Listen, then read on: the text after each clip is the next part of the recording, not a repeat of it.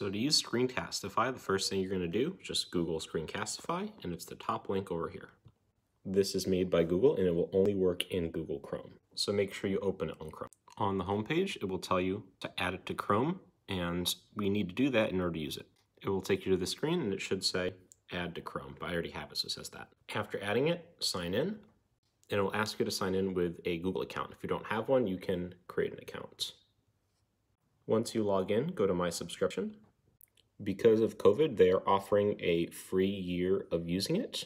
So we are going to click the link that I'm going to send you in the email and redeem coupon so that next billing date will be a year from now and you won't be charged. And the code is CAST COVID. Then you'll click Activate License and ignore the billing date. It will be waived. It's not going to bill you again because there's no credit card attached. Once your license is active, it should also show you that you have a subscription. You are ready to use it.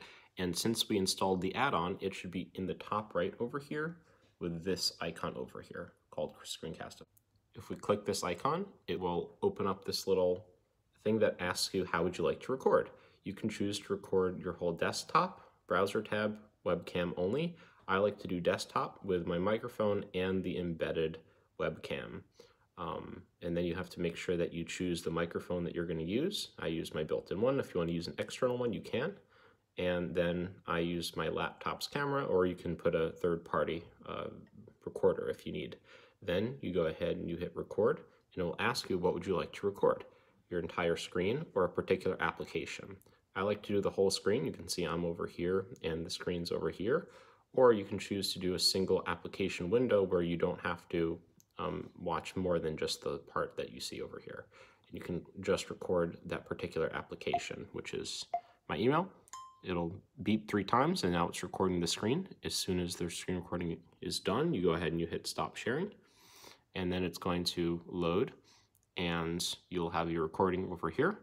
And at the top right, I just copy the shareable link and then send it out to the student.